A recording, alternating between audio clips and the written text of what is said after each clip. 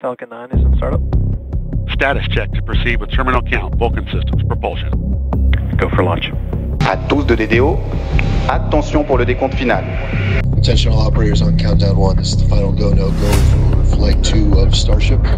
CLS is go for auto sequence start. On behalf of all the men and women across our great nation who have worked to bring this hardware together to make this day possible, at this time I give you a go to resume count and launch Artemis 1. We have a go for main engine start.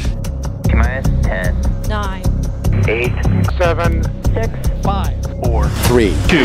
Unité! We have engine ignition. Get hands off. Get launch vehicle. Launch. Booster ignition and liftoff of Discovery. We have liftoff.